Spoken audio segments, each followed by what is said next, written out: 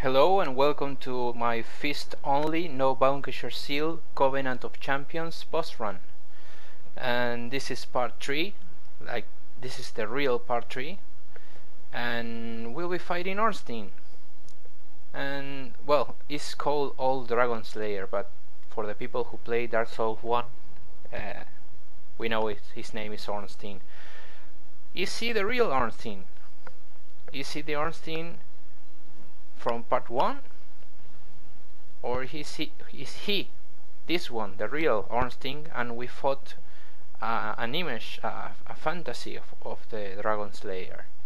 Well this is left for you to think like many other topics in Dark Souls 2 which is which I think is the best aspect of the story in both games that you have to maybe uh, it's like a puzzle that you have to to see. You have to you first you have to uncover the, the secrets read, read items talk to people the, the very few people who are alive who also may be talking riddles and stuff like that which is kind of annoying sometimes but that's okay.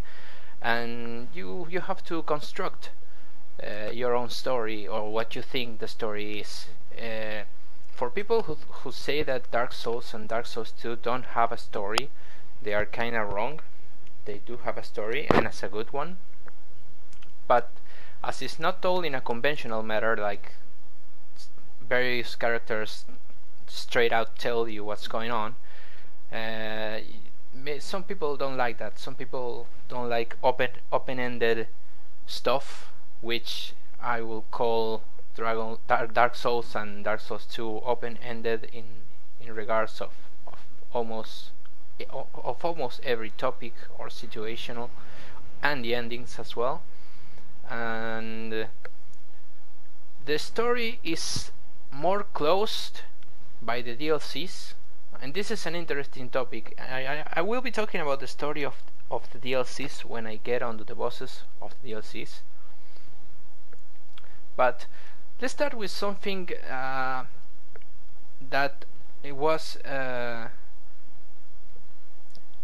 how can I say it? It, it, it was. Uh, I asked for an opinion to a fellow producer named Bick Benedict. Now he has a challenge. He has a channel full of challenge runs on various games, uh, full with commentary. It's an awesome challenge, and I will be leaving it in my description, even if I have uh, very little subscribers uh, in comparison to him. I could not mention him uh, without leaving a link to his channel. And check it out because it's awesome. He has great commentary and engaging gameplay so uh, yeah check it out. He he left me uh, in uh, some kind words which I really appreciate. And he left me with uh, two two things to improve.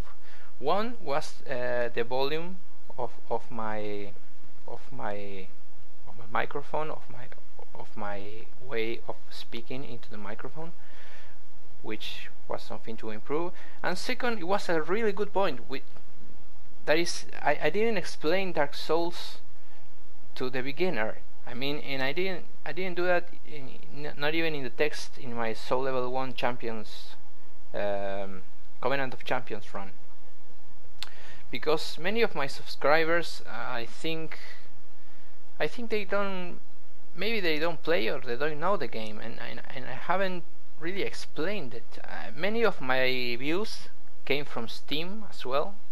I mean both part my subscriber part Steam and I want to uh, take the chance to say thank you to the subscribers that watch my videos and thank you to the viewers who may or may not subscribe and that's fine but take the time to watch my videos. And yes one of the things is explaining the game. So I'm going to do that now. Uh, Dark Souls 2 is a action RPG in third person. And uh, but let's let's let's let's take this piece by piece. Uh, RPG the RPG element of Dark Souls is literally the stats. for for example, you have uh, vigor, endurance, adaptability, strength, dexterity. Uh, I'm gonna maybe forget a few. Um, faith, which which is only for miracles. Miracles are a, a kind of magic in the game. Int, that is used mainly for sorceries. That is another kind of magic, and also for the casting speed of those sorceries. And some uh, like vitality which is used for uh, weight of your armor and your weapons to reduce it. And many rings you can you can equip you, you can equip rings you can equip weapons. There are, are a wide variety of weapons to suit your tastes. And you can equip armor. And you got to find a balance I would say a weapon that you like that you like the move set of that weapon and an armor that if, if you're fashionable maybe you'll like some armors better than others and or if you like the best defense maybe you'll become a Havel monster like mm, fans of the Dark Souls know him by that by that name. But uh, whatever you choose uh, the RPG aspect is basically the stats so the action third, the third person action part is kind of a controller tight thing. I mean, I wouldn't say it's kind of a Devil Cry because, as you can see, it's not. It's it's a timing thing. Uh, the game is very punishing. Uh, it's not. I, I will not call it hard, though hard is a subjective matter. But I will not call it hard per se. I mean, I, I know that for many people thinks that Dark Souls is is a hard game, and it is it, harder than the average game. I mean, if you're going to take an example like Call of Duty on normal, or, or you know mainstream games played on normal, then yes, if you come from this expertise, so to speak, and you want to play a Dark Souls, then you realize that there is no difficulty uh, because the game is already set on hard but not hard in the way that it's gonna be unfair. It's gonna be fair hard. It's gonna be a hard game that you will have to put your hours into to get the dodges uh, right. You also have shields but the hits in your shields drain your stamina so stamina management is a big big part of the of the action here. As you see the red bar that goes up and down is my stamina and I basically have to manage that through the entire run uh, more so in the soul level 1 which I have uh, lower stamina. That can that and the red bar are of course my my HP and uh, the little tree that you see on the on the left of the health is the Covenant of Champions. That is it's not really a tree it's like a beacon or it's kind of like a beacon I, I don't really I can't really get I can't really tell.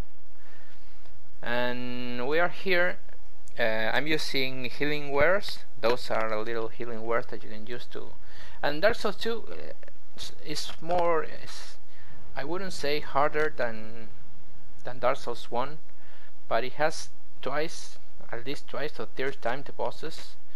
And it has some weird hitboxes that you might find kinda harder to evade.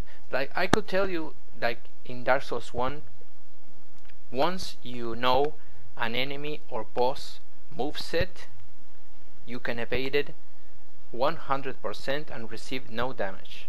And that's a reality.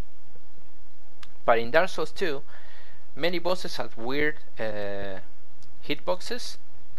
And this gives it uh, for example if you want to do a no damage run this kind of this is going to frustrate frustrate you because as, as much as you want to as much as you want to evade all the moves you may roll in a certain way where the, the boss will not hit you and then you roll in the exact same way and the boss will hit you. So in that regard it's a little finicky. It's a little weird. But uh, going out from that it, it, I could say the same thing about Dark Souls mostly. I mean once uh, you get the boss moves right and the enemies the normal enemies because believe me the bosses are not going to kill you that much. It's the general levels and monster design that's going to kill you. Uh, certain bosses will kill you more than others that, that's for sure. And uh, that's basically the game. If you if you like what I've said and you kinda don't rage and you you have you are a, a man or woman of patience uh, and you get what an iframe is like uh, as you will see I'm using the iframes of my roll to evade all of his attacks. As you will jump in a Devil May Cry or as you would uh, uh, what, what, what other games as, as iframes well uh, as you will use the iframes of a special attack or, or, or, or something to get iframes from from any game. So yeah that's Dark Souls and this is Ornstein and we'll see each other in video 4 and th thank you for watching guys. Take care